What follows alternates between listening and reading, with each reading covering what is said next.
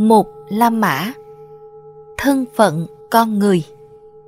Giới thiệu tổng quát. Như giáo lý của các tôn giáo khác, Giáo lý của Đức Phật khởi đầu là một đáp ứng trước những mối lo âu căng thẳng ngay trong cốt lõi của thân phận con người. Những gì giúp chúng ta phân biệt giáo lý của Đức Phật với các tôn giáo khác trong cách tiếp cận đối với thân phận con người chính là cái nhìn trực tiếp, thấu suốt và thực tiễn không khoan nhượng của Ngài trước các mối lo âu căng thẳng đó. Đức Phật không trao truyền chúng ta những biện pháp làm giảm nhẹ cơn đau tạm thời bên ngoài và để yên những căn bệnh vẫn tiềm ẩn bên dưới mà ngài đã truy đến tận những nguyên nhân sâu xa nhất của những căn bệnh liên hệ đến sự hiện hữu của chúng ta, rất dai dẳng và tai hại, và chỉ dẫn cho chúng ta làm thế nào để hoàn toàn nhổ bật chúng tận gốc rễ. Tuy nhiên, trong lúc chánh pháp cuối cùng sẽ đưa đến trí tuệ để xóa bỏ mọi nguyên nhân khổ đau, chánh pháp không bắt đầu từ đó, mà bắt đầu bằng những quan sát về thực tại hiển nhiên của kinh nghiệm sống hàng ngày. Ở đây cũng vậy, tính cách trực tiếp, thấu suốt và thực tiễn là rất rõ ràng. Lời giảng dạy bắt đầu bằng cách kêu gọi chúng ta phát triển một khả năng gọi là như lý tác ý, sự chú tâm, cẩn thận. Yoniso Manasikara Đức Phật yêu cầu chúng ta chấm dứt thái độ tiếp tục thờ ơ vô tâm trong cuộc sống. Thay vào đó, cần phải chú tâm cẩn thận đến những sự thật đơn giản đang có mặt khắp nơi và đang đòi hỏi sự quan tâm bền vững mà chúng xứng đáng được hưởng. Một trong những sự thật rõ ràng không thể trốn tránh được và cũng là một trong số những sự thật khó nhất để chúng ta công nhận một cách trọn vẹn. Đó là chúng ta bị trói buộc bởi tuổi già, bệnh, rồi chết. Người ta thường cho rằng đức phật kêu gọi chúng ta công nhận thực tại của tuổi già và cái chết là để động viên chúng ta đi vào con đường xuất gia, đưa đến niết bàn, giải thoát hoàn toàn khỏi vòng luân hồi sinh tử. Tuy nhiên, trong lúc đây có thể là ý định tối hậu của ngài, nó không phải là đáp ứng đầu tiên. Ngài dùng để gợi ý cho chúng ta khi chúng ta tìm đến ngài để xin hướng dẫn. Đáp ứng ban đầu đức phật dự định gợi ý cho chúng ta là một đáp ứng đạo đức bằng cách kêu gọi sự chú ý của chúng ta về hệ lụy của tuổi già và cái chết. Ngài muốn khơi nguồn cảm hứng để chúng ta có quyết tâm vững chắc là tránh xa những lối sống bất thiện. Và thay vào đó là mở lòng đón nhận một lối sống thiện lành. Một lần nữa, lời kêu gọi đạo đức ban đầu của đức phật không những chỉ đặt nền tảng trên một tình cảm từ bi đối với người khác, mà còn là mối quan tâm sâu xa đối với an vui hạnh phúc của chính chúng ta. Ngài cố gắng làm cho chúng ta thấy rằng hành động theo đường lối đạo đức sẽ giúp chúng ta bảo đảm được sự an vui của chính chúng ta ngay trong hiện tại và cả trong tương lai dài hạn nữa lập luận của ngài dựa vào nhận định quan trọng là hành động mang lại hậu quả. Nếu chúng ta cần phải thay đổi những cách hành xử quen thuộc của mình, giá trị của nguyên lý này phải thuyết phục được chúng ta. Nói rõ hơn, để thay đổi một lối sống trống rỗng, buồn chán do mình tạo ra thành một lối sống thật sự hữu ích và mãn nguyện trong tâm chúng ta phải ý thức được rằng hành động của chúng ta đem lại hậu quả cho chính chúng ta. Những hậu quả có thể tác động lại chúng ta trong đời này và những đời sau. Ba bài kinh tạo nên phần đầu của chương này xác nhận điểm này một cách hùng hồn, mỗi bài theo cách riêng của nó. Kinh văn một La Mã. Một một đã diễn đạt thật rõ ràng quy luật không thể tránh được là tất cả mọi chúng sanh đã sinh ra thì phải trải qua giai đoạn già và chết. Mặc dù thoạt nhìn, bài kinh có vẻ như chỉ nói lên một sự kiện của thiên nhiên bằng cách đưa ví dụ về những thành phần thuộc giai cấp thượng lưu của xã hội như những lãnh chúa giàu có, những người thuộc giai cấp Bà La Môn và các gia chủ và những vị A-la-hán đã đắc quả giải thoát. Bài kinh ám chỉ một thông điệp đạo đức tế nhị trong lời kinh. Kinh văn một La Mã, một, hai, đưa ra thông điệp này rõ ràng hơn với ví dụ ngọn núi rất ấn tượng để đưa đến điểm chính là khi tuổi già và cái chết đang đến với chúng ta nhiệm vụ của chúng ta trong đời là sống chân chánh và làm những hành động thiện lành và phước đức. Bài kinh về những thiên sứ. Kinh văn một la mã, một, ba. Xác nhận hậu quả của việc này. Khi chúng ta không nhận ra những thiên sứ này trong chúng ta, khi chúng ta bỏ qua những dấu hiệu cảnh báo về tuổi già, bệnh tật và cái chết chúng ta trở nên sao lãng và hành động vô ý thức, tạo nên những ác nghiệp với tiềm năng, đem lại những hậu quả đáng sợ. Việc nhận thức được rằng chúng ta bị trói buộc bởi tuổi già và cái chết sẽ phá vỡ niềm đam mê say đắm, dục lạc, tài sản, quyền lực vẫn ám ảnh chúng ta. Điều này đánh tan lớp sương mù của nỗi hoang mang và là động lực thúc đẩy chúng ta đặt lại những mục đích của mình trong cuộc sống.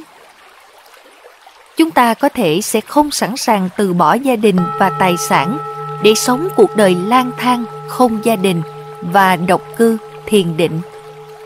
Đây không phải là một sự lựa chọn mà đức phật thường mong đợi ở các đệ tử tại gia. Như đã nói ở trên, bài học đầu tiên ngài rút ra từ thực tế là cuộc đời chúng ta sẽ chấm dứt bằng tuổi già và cái chết. Là một bài học về đạo đức xen lẫn với hai nguyên lý, đi đôi với nhau, là nghiệp và tái sanh.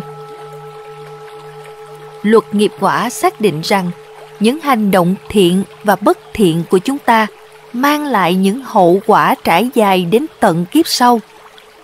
Những hành động bất thiện đưa đến việc tái sanh vào các cõi đọa đầy và đem đến khổ đau, bất hạnh trong tương lai.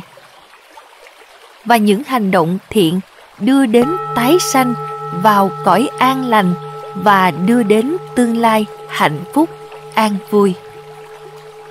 Vì chúng ta rồi sẽ phải già và chết, chúng ta phải luôn luôn ý thức rằng bất cứ sự hưng thịnh nào chúng ta hưởng trong hiện tại cũng chỉ tạm thời chúng ta chỉ có thể vui hưởng chúng khi chúng ta còn trẻ và khỏe mạnh. Và khi chúng ta chết, những nghiệp chúng ta mới tạo sẽ có cơ hội chín mùi và cho ra những hậu quả của chúng. Lúc đó, chúng ta phải gặt hái những quả do hành động chúng ta đã tạo ra với tầm mắt hướng về nguồn an vui lâu dài trong tương lai. Chúng ta phải hết sức thận trọng tránh những hành động bất thiện đưa đến kết quả khổ đau và tinh tấn dấn thân vào các hành động thiện đem lại hạnh phúc cho đời sống hiện tại và tương lai. Trong phần 2, chúng ta sẽ khám phá ba phương diện của kiếp người mà tôi đã tập hợp lại dưới chủ đề Những khổ đau của lối sống phóng dật. Những kiểu khổ đau này khác với những khổ đau liên hệ đến tuổi già và cái chết trên một phương diện quan trọng. Tuổi già và cái chết ràng buộc với sự hiện hữu của thân và như vậy là không thể tránh được. Là đặc điểm chung cho cả người thường và các bậc A-la-hán đã được giải thoát. Một điểm được chỉ rõ trong bài kinh đầu tiên của chương này.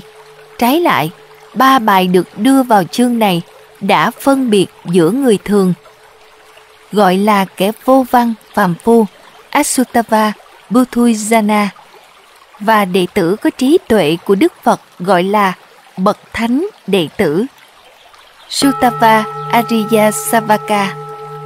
Điểm đầu tiên trong những khác biệt đó được rút ra từ kinh văn một La Mã, hai một xoay quanh việc phản ứng đối với những cảm thọ khổ đau. Kẻ vô văn phàm phu và bậc thánh đệ tử đều có những cảm thọ đau khổ về thân, nhưng họ có phản ứng khác nhau đối với các cảm thọ đó.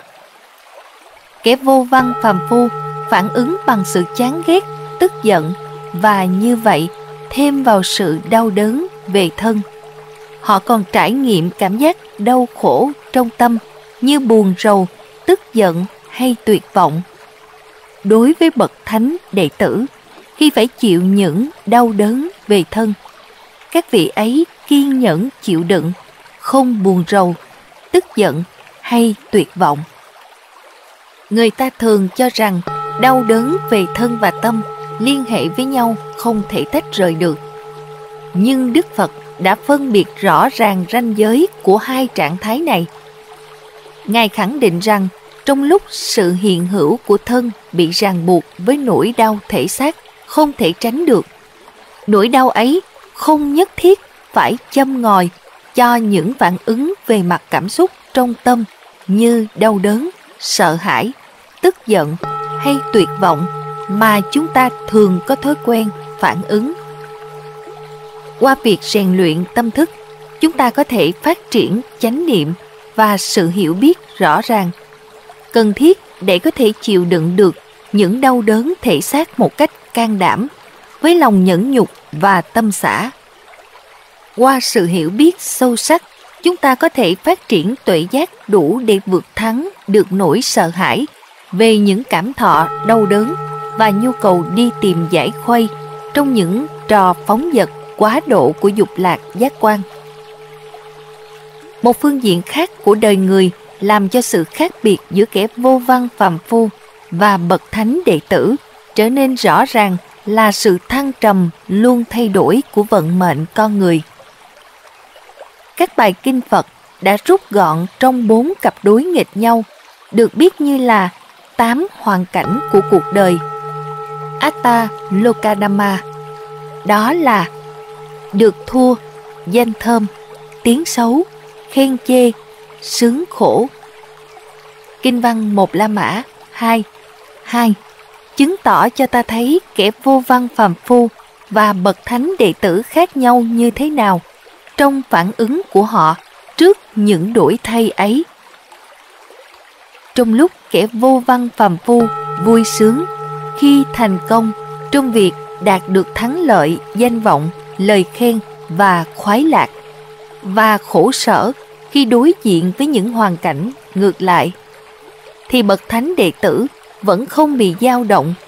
Bằng cách áp dụng hiểu biết về vô thường cho hoàn cảnh thuận lợi và không thuận lợi, bậc thánh đệ tử có thể an trú với tâm xã không tham đắm trước hoàn cảnh thuận lợi và không gây sợ trước hoàn cảnh không thuận lợi. Các bậc thánh đệ tử ấy từ bỏ thích và không thích, buồn rầu và tuyệt vọng và cuối cùng đạt được ân phước tối thượng, hoàn toàn giải thoát khỏi khổ đau. Kinh văn một La Mã hai ba Quan sát số phận của kẻ vô văn phàm phu ở một tầm mức sâu xa hơn nữa. Bởi vì kẻ vô văn phàm phu có những tri giác sai lầm về sự vật. Họ bị dao động trước những đổi thay, nhất là khi những đổi thay ấy có ảnh hưởng đến thân và tâm của họ. Đức Phật sắp xếp những thành phần của thân và tâm thành năm loại được biết như là năm uẩn đối tượng của chấp thủ, sắc, thọ, tưởng, hành, thức. Năm uẩn này là những khối vật liệu điển hình mà chúng ta dùng để xây dựng cảm giác về bản sắc cá nhân của chúng ta. Chúng là những cái mà chúng ta bám chặt vào và xem như là của ta, là ta, là tự ngã của ta. Bất cứ cái gì chúng ta nhận diện là mình, bất cứ cái gì chúng ta cho là cái ngã hay những sở hữu của cái ngã, tất cả đều có thể xếp vào năm uẩn đó. Như vậy, năm uẩn là nền móng tối hậu của sự nhận diện và sự sở hữu. Hai hoạt động căn bản theo đó chúng ta thiết lập cảm giác về bản ngã. Vì chúng ta bỏ rất nhiều thời gian và công sức để xây dựng khái niệm về bản ngã và bản sắc cá nhân với mối quan tâm cảm xúc rất lớn. Nên khi những đối tượng mà chúng gắn bó là năm uẩn trải qua những thay đổi, tự nhiên chúng ta cảm thấy lo âu và sầu khổ. Trong tri giác của chúng ta, đó không chỉ là những hiện tượng khách quan đang thay đổi, mà chính bản sắc của chúng ta, cái bản ngã yêu quý của chúng ta cũng thay đổi. Và đó là điều chúng ta sợ hãi nhất. Tuy nhiên, như bài kinh này đã chứng tỏ, bậc thánh đệ tử với trí tuệ đã thấy rõ bản chất hư vọng của tất cả khái niệm về một cái ngã thường hằng nên không còn nhận diện nó với năm uẩn. Vì thế, bậc thánh đệ tử có thể đối đầu với đổi thay mà không quan ngại lo âu, không bị dao động khi đối diện với đổi thay, suy tàn và hoại diệt. Lo âu, dao động và hoang mang, sợ hãi làm con người đau khổ không những ở mức độ cá nhân riêng tư mà còn ảnh hưởng đến những giao tiếp của chúng ta về mặt xã hội. Từ thời đại cổ sơ nhất, thế giới của chúng ta vẫn luôn luôn là một môi trường xung đột và đối đầu dữ dội. Tên gọi, nơi chốn và dụng cụ hủy diệt có thể thay đổi nhưng những lực đẩy đằng sau, những động cơ, những biểu hiện của tham, sân, si vẫn hầu như bất biến.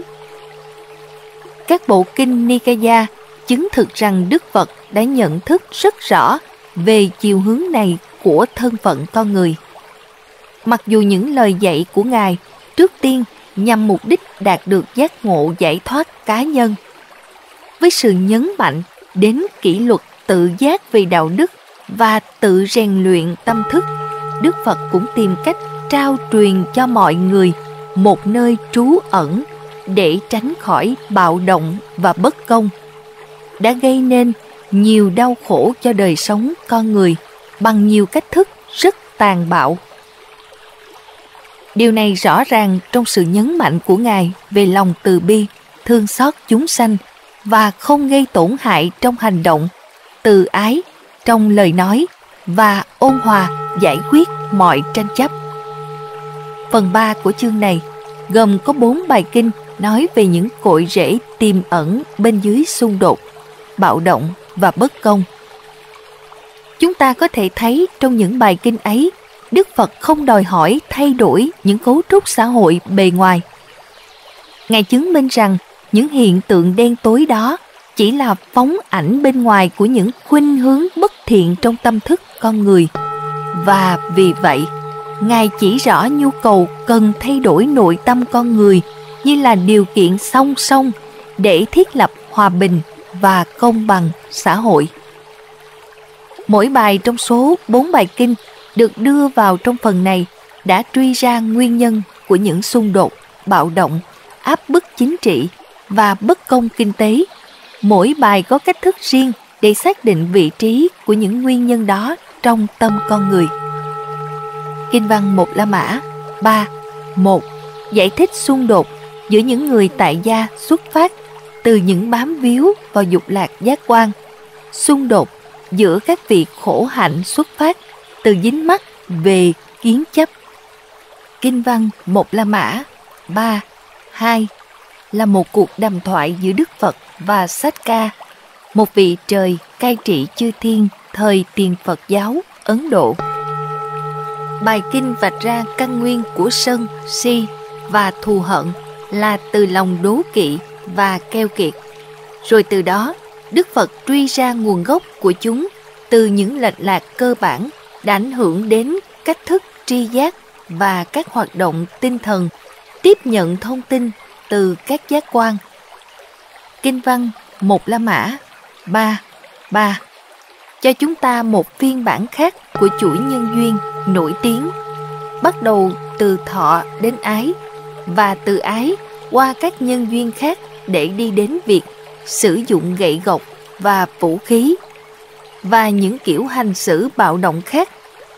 Kinh văn một La Mã ba bốn Mô tả bằng cách nào mà tam độc, tham, sân, si đem lại những hậu quả kinh khủng cho toàn xã hội, phát sinh thành bạo động, khao khát quyền lực và những tổn thương, đau khổ do bất công gây ra.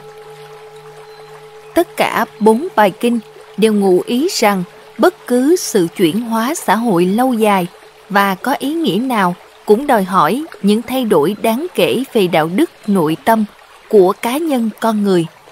Vì bao lâu mà tham, sân, si vẫn lan tràn như những yếu tố quyết định cách hành xử thì hậu quả nhất định sẽ đưa đến tai hại triền miên. Lời dạy của Đức Phật nói đến một phương diện thứ tư của thân phận con người, không giống ba phương diện mà chúng ta vừa khảo sát, không được chúng ta trực tiếp nhận biết ngay. Đây là sự ràng buộc của chúng ta với vòng sinh tử, luân hồi. Từ những bài kinh được chọn lọc để đưa vào trong phần cuối của chương này, chúng ta thấy Đức Phật dạy rằng quãng đời của mỗi cá nhân chúng ta chỉ là một giai đoạn trong chuỗi tái sanh đã tiếp diễn từ vô thủy. Chuỗi tái sanh này gọi là vòng luân hồi, Sangsara. Một từ Bali gợi ý về một sự lang thang vô định. Dù chúng ta có tìm kiếm một điểm bắt đầu của vũ trụ xa tận đâu đi nữa, chúng ta vẫn không bao giờ tìm ra thời điểm đầu tiên vũ trụ hình thành. Dù chúng ta có truy tìm chuỗi đời sống liên tục của một cá nhân xa tận đâu đi nữa, chúng ta cũng không bao giờ tìm thấy điểm đầu tiên. Theo kinh văn, một La Mã 4, 1 và một La Mã bốn 2.